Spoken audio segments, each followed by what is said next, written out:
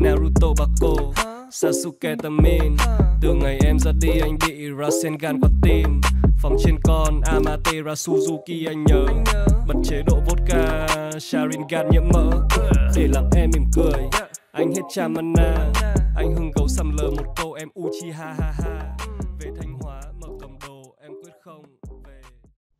Xin chào thầy và tất cả các bạn, em tên là Phạm Nguyễn Phúc, mã số sinh viên là 1814691, học lớp vi xử lý, sáng thứ tư tiết 345.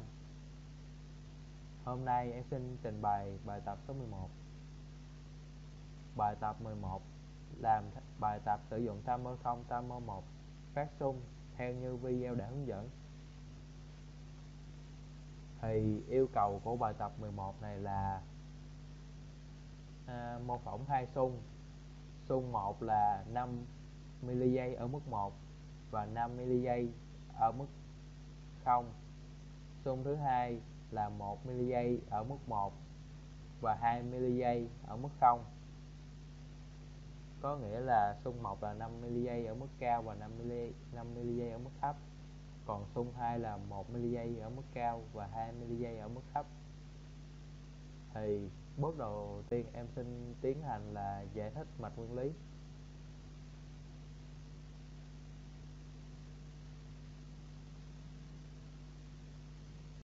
Thì mạch nguyên lý của em bao gồm các thiết bị sau đầu tiên là nút nhấn tụ hịch anh.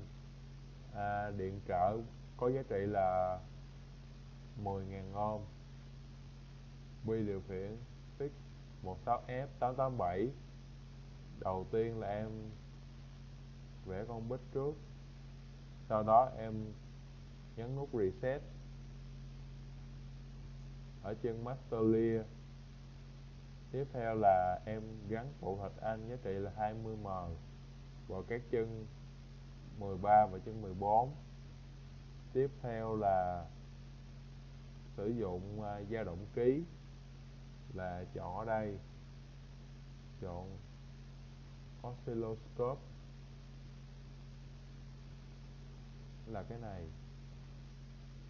Tiếp theo là nối chân A có nghĩa là xung 1 vào chân RD0 và xung 2 được nối với chân RD1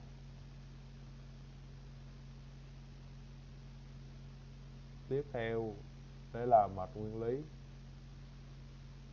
Sử dụng là 20m đây 20m luôn. Em đã giải hết xong mạch nguyên lý tiếp theo em xin uh, giải thích uh, code. Đầu tiên là chúng ta sẽ khai báo thư viện bit 16F 887 tiếp theo là sử dụng cấu hình 2 bit là ớt với xung lốc là 20m tiếp theo là sẽ à, khai, khai báo thư viện xong rồi chúng ta sẽ cấu hình các chân thì như mạch nguyên lý, thì xung một là xung màu vàng là viết tắt là chữ A, sẽ nối với chân RD0 là pin D0 xung 2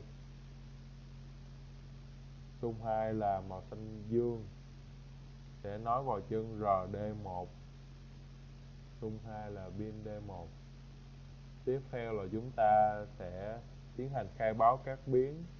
Biến là trạng thái xung 2 à, vào phần chương trình chính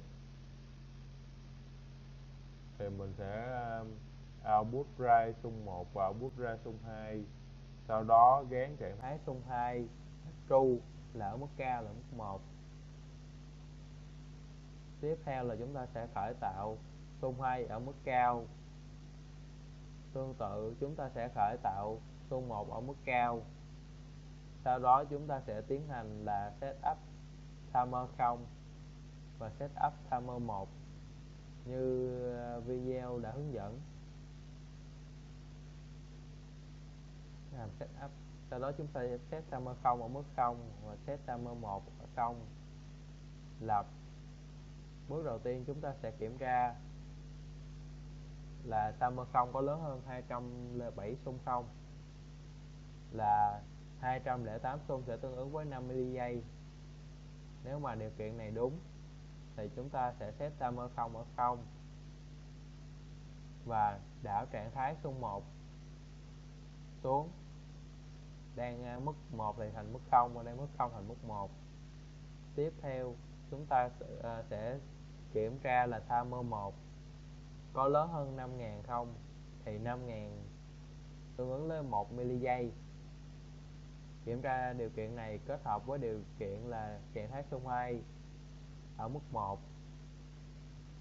nếu mà điều kiện này đúng thì sẽ cho xung 2 ở mức thấp test timer 1 mức 0 và trạng thái xung 2 sẽ là false sẽ là mức thấp.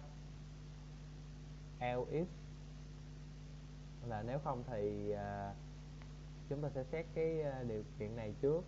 Và sẽ xét điều kiện này thì ở trên đây 5.000 sẽ tương ứng với 1 mili giây còn 10.000 sẽ tương ứng với là 2 mili giây nếu mà điều kiện này đúng thì chúng ta sẽ cho xung hai ở mức cao và set timer 1 là 0 à, trạng thái xung 2 sẽ là true là ở mức cao.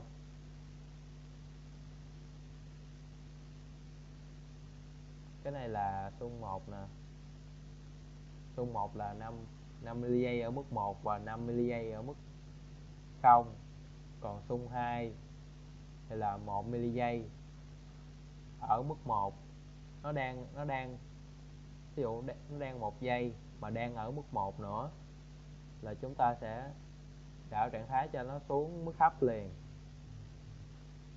Còn đây là 2 mili giây 2 mili giây nó đang mức thấp mình sẽ cho lên lại mức cao lại là true.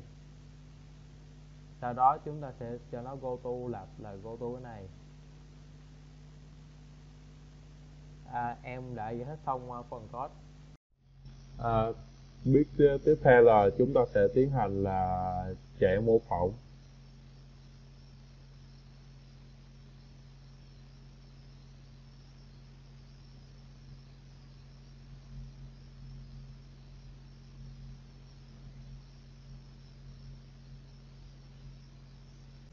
Ta sẽ chọn file.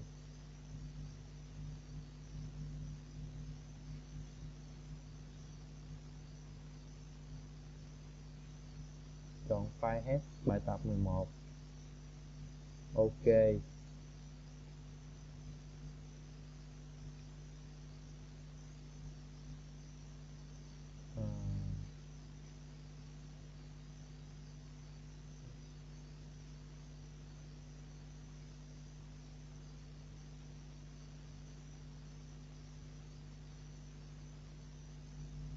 Đây. Ban đầu chúng ta sẽ chỉnh thằng này về số 1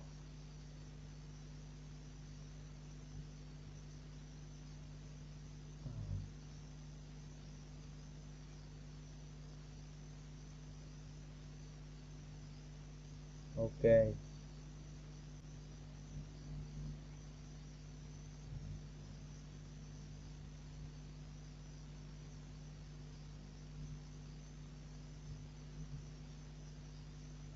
thì à, như ờ, yêu cầu đề bài của thầy, đó chính là xung 1 tôi tương ứng với 1 2 3 4 5 5 mili giây một ô tương ứng với 1 mili giây ở trạng thái cao và 1 2 3 4 5 5 mili giây ở trạng thái ở mức thấp, đó là chính là xung 1 còn xung 2 yêu cầu là 1 mili giây tương ứng với một ô như à, đã hiển thị là ở mức cao, còn mức thấp là tương ứng với 2 ô, tương ứng với là 20 giây ở mức thấp.